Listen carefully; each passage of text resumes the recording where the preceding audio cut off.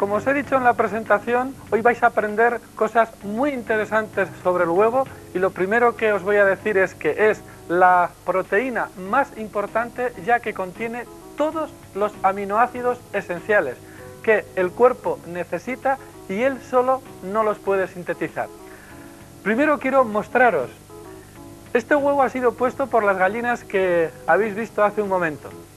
Vamos a ver la diferencia que hay con uno que no es fresco, que lleva ya 8 días, 10 días. Y es en lo siguiente, vosotros mismos lo podéis apreciar sin que nadie os diga nada.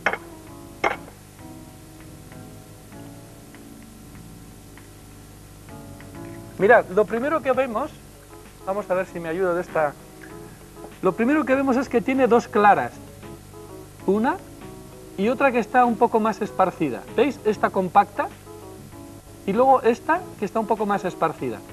Bueno, pues eso solamente lo tienen los huevos que han sido puestos hace unos minutos. Yo voy a tomar un huevo de aquí, que este tiene pues unos... Bueno, lo vamos a ver y os voy a enseñar cómo se sabe si un huevo es fresco o no es fresco. Bueno, en principio han salido dos yemas, sorpresa. Mirad, no es fresco por esto. ¿Veis una burbuja de aire que hay ahí dentro? Pues en este huevo vais a ver que no la tiene. Este es el fresco y este es el que lleva 8 días. Ese es el fundamento por el cual cuando os dicen que un huevo es fresco o no, o para saberlo hay que poner en un vaso con agua. Contra más lenteja de aire, contra más burbuja de aire tiene, más flota en el agua. Pero cuando es fresco, la burbuja es tan sumamente pequeñita, vamos a, este es de aquí, es tan sumamente pequeñita que es del tamaño de una lenteja, casi no se llega a apreciar. Es la única forma, bueno, una de las formas muy seguras de saber que el huevo es fresco. No vais a ver ahí ninguna burbuja y mirad qué burbuja. Calculando aproximadamente, os puedo decir que este huevo no tiene menos de 10 días puesto. Eso es una base fundamental para que sepáis que estamos comiendo un huevo fresco. Bien, vamos a comparar ahora aquí las dos yemas. Mirad nuevamente.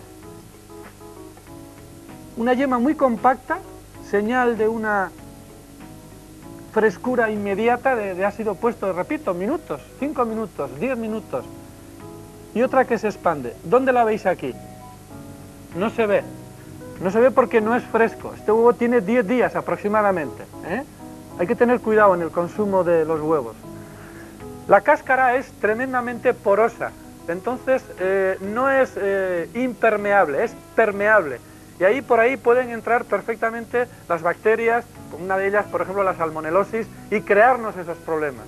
Un huevo crudo no hay que tomar nunca, un huevo crudo nunca. La mejor forma de tomar un huevo es cuatro minutos hirviendo. Es cuanto más digestivo es. Quiere decir que ahí aprovechamos todos los principios que tiene el huevo. Primero, tiene 2.500 unidades internacionales vitamínicas y gran cantidad de fosfolípidos, muy importantes para el organismo. Repito que es muy digestivo. Cuando lo tomamos duro, puede resultar indigesto y si lo tomamos frito, aparte de que se destruyen parte de los principios, puede resultar tóxico. ¿Debido a qué? ¿Recordáis el programa anterior o dos anteriores? No estoy ahora muy seguro. ¿Cómo os enseñábamos que el aceite nunca debe sacar humo? Pues cuando se fríe el huevo en aceite y este saca humo, ya estamos tomando un alimento tóxico, porque el aceite es tóxico, incluso cancerígeno. ¿eh? ¿Recordáis también al bioquímico colaborador del programa Teo que nos explicaba que nunca el aceite debe sacar humo, porque este es muy tóxico? Pues estos son uno de los fundamentos que queremos enseñaros del huevo.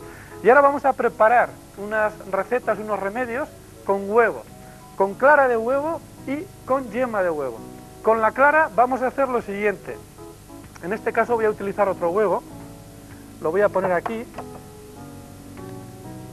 y bueno, en este caso voy a utilizar la yema. Esto lo recuerdo yo, esto lo recuerdo yo de muy niño. Voy a dejarlo ahí, que no se me caiga. A ver, ahí. Recuerdo de muy niño, cuando una persona se encontraba decaída, falta de memoria, sin fuerza vital, le hacían lo siguiente, vino rancio, lo hervían, voy a poner la cocina, incluso lo he visto en, en personas ancianas, muy ancianas, cuando estaban desvitalizados, falta de memoria, de concentración, utilizaban vino rancio que lo hervían y lo que hacen es añadir una yema al vino rancio.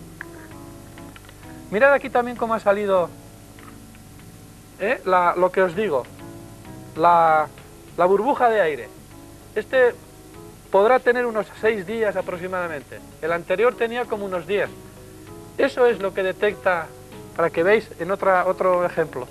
Bueno, pues ahora aquí el huevo, el vino empezará a hervir y diluiremos la yema con el vino. Y las abuelas decían que el efecto que tiene sobre la memoria es muy rápido. Quiere decir que varios días tomando un huevo cocido en vino rancio iba a venir muy bien, por ejemplo, para los nietos cuando iban al colegio, pero principalmente en personas mayores les daba muchísima vitalidad, muchísima fuerza, muchísimo vigor.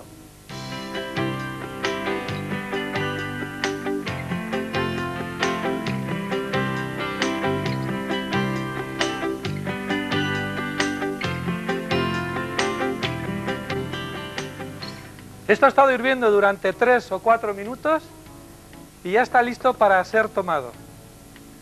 Las abuelas, como he dicho antes, lo mandaban. Hay que tomarse todo, ¿eh? Cuando flaqueaba la memoria o cuando uno se encontraba excesivamente débil. Se puede tomar dos veces por semana y estad atento porque seguiremos hablando del huevo y de sus propiedades.